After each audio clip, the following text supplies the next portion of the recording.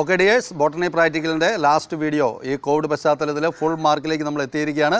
So listen carefully question number six എന്താണ് question number six write down the ecological interaction of the specimen F Covid പശ്ചാത്തലത്തിൽ രണ്ടേ രണ്ട് സ്പെസിമിനെ നമുക്ക് പരീക്ഷയ്ക്ക് വരുള്ളൂ. ആ രണ്ട് സ്പെസിമിൻ എന്താ?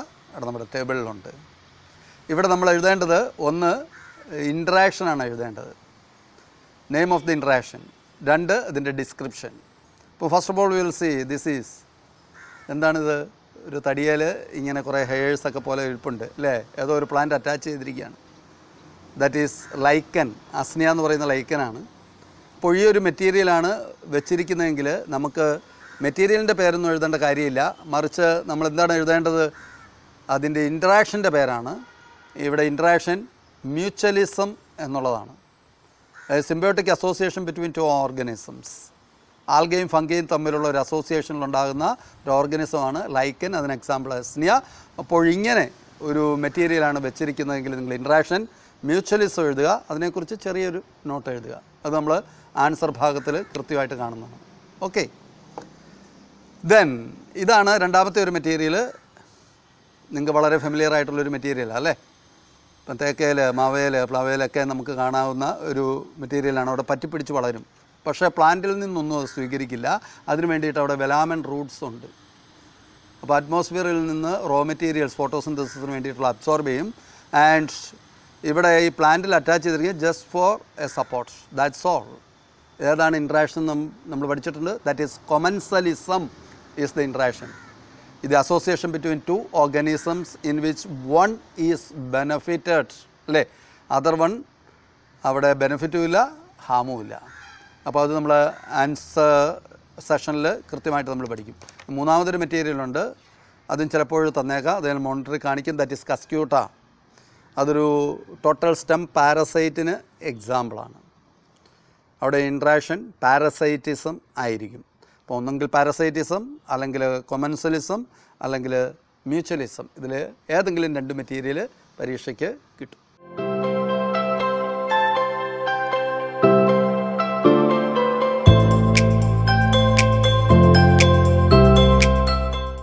Okay dears let's move on to the seventh question അത് ആന്തറിന്റെ സെക്ഷനാണ് പക്ഷേ ഈ കോവിഡ് ബാക്ക്ഗ്രൗണ്ടിൽ നമുക്ക് സെഷൻ എടുക്കാനായിട്ടില്ല. നേരത്തെ ആണെങ്കിൽ you may be supplied with an anther ആന്തറിന്റെ ഒരു ക്രോസ് സെക്ഷൻ എടുത്ത് അത് മൗണ്ട് ചെയ്ത് ഒബ്സർവ് ചെയ്ത് ഇത് വാല്യൂ ചെയ്യുന്നതിന് വേണ്ടി എക്സ്ട്രാമിനൽ എക്സ്ട്രാമിനറെ ഏൽപ്പിക്കണമായിരുന്നു. എന്നിട്ട് അതിന്റെ diagram labelled diagram C S of anther answer sheet വരച്ചു വെക്കണം. പക്ഷേ ഇപ്പോൾ നമുക്ക് you may be provided with a single anther anther can you see ഇത് നമ്മൾ നേരത്തെ കണ്ട വഴുതനയുടെ ആന്തറാണ് ഇത് വലിയൊരു ആന്തറാണ് ഈ ആന്തർ നിങ്ങൾക്ക് നൽകും അല്ലെങ്കിൽ നിങ്ങളെ കാണിക്കും. എന്നിട്ട് നിങ്ങൾ എന്ത് ചെയ്താൽ മതി ഇതിന്റെ സെക്ഷനൊന്നും എടുക്കണ്ട. ജസ്റ്റ് പഠിച്ചു വെച്ചിരിക്കുന്ന സി എസ് ഓഫ് ആൻതറിന്റെ ലേബിൾഡ് ഡയഗ്രാം ഇത് ഏതെങ്കിലും ഒരു രണ്ട് പാർട്ടെങ്കിലും ലേബിൾ ചെയ്തിരിക്കണം. ദാറ്റ്സ് ഓൾ അപ്പം draw a neat labelled diagram of the C S of anther that is all about this question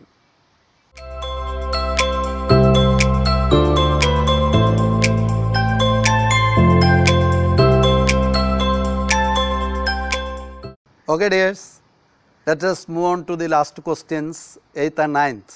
8th question നമുക്ക് ചെയ്യാനൊന്നുമില്ല. വൈവയാണ് വാചാ പരീക്ഷയാണ് അത് as I have mentioned earlier physiology എക്സ്പെരിമെന്റുമായി ബന്ധപ്പെട്ട സിമ്പിളായിട്ടുള്ള ചില ക്വസ്റ്റ്യൻസ് ചോദിക്കും. അപ്പോൾ പേടിക്കാനൊന്നുമില്ല. നിങ്ങൾ ക്വസ്റ്റ്യൻ കേൾക്കുക അത് മനസ്സിലാക്കുക ആൻസർ പറയാൻ പറ്റുമെന്നുണ്ടെങ്കിൽ പറയുക അല്ലെങ്കിൽ സോറി ഐ കോണ്ട് റിക്കളക്ട് എന്ന് പറയുക. That's all you will get full mark okay അതിൽ പറഞ്ഞിരിക്കുന്ന ascertaining the awareness of concepts related to the experiment എന്നാണ് പറയുന്നത്. ഇപ്പോൾ say for example this is the thistle funnel experiment അല്ലേ? അപ്പോൾ ഇതിൽ രണ്ട് മൂന്ന് ക്വസ്റ്റ്യൻസ് ചിലപ്പം ചോദിക്കാം. ഒന്ന് ഈ ബീക്കറിലെ സൊല്യൂഷൻ എന്താണ്? ബീക്കറിലെ സൊല്യൂഷൻ എന്താണ്? ഇത് പ്യുവർ വാട്ടറാണ് തിസിൽ ഫണിലെ സൊല്യൂഷൻ എന്താണ്? ഇത് കോൺസെൻട്രേറ്റഡ് ഷുഗർ സൊല്യൂഷൻ എന്ന് ആൻസർ പറയണം. ചിലപ്പോൾ ചോദിക്കുക ഈ തിസിൽ ഫണലിന്റെ ഈ വൈഡ് മൗത്ത് അത് കവർ ചെയ്തിട്ടുണ്ട്. അത് എന്തുകൊണ്ടാണ്?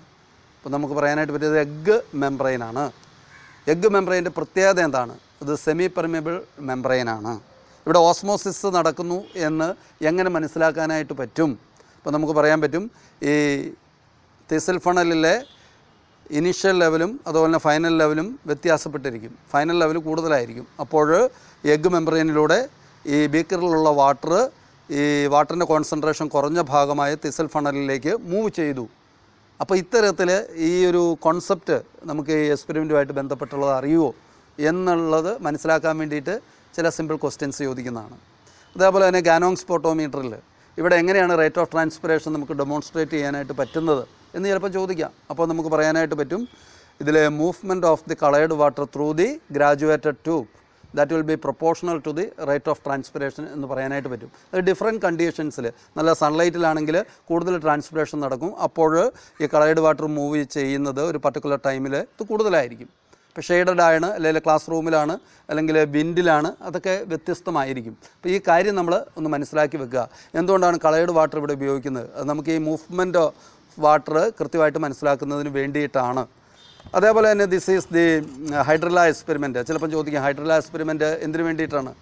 അപ്പോൾ നമുക്ക് പറയാനായിട്ട് പറ്റും to demonstrate that oxygen is evolving during photosynthesis അപ്പോൾ ഓക്സിജൻ ഇത് എവിടെയാണ് ഓക്സിജൻ ഇവോൾവ് ചെയ്യുന്നത്? അപ്പോൾ നമുക്ക് പറയാം ഈ ട്യൂബിന്റെ അറ്റത്ത് വന്നാണ് ഈ ടിപ്പ് പോർഷനിലാണ് അപ്പോൾ അവിടെ ഈ ഓക്സിജൻ ഇവോൾവ് ചെയ്യുന്നതിനനുസരിച്ച് ഇവിടെ ഡിസ്പ്ലേസ്മെന്റ് ഓഫ് വാട്ടർ വരും.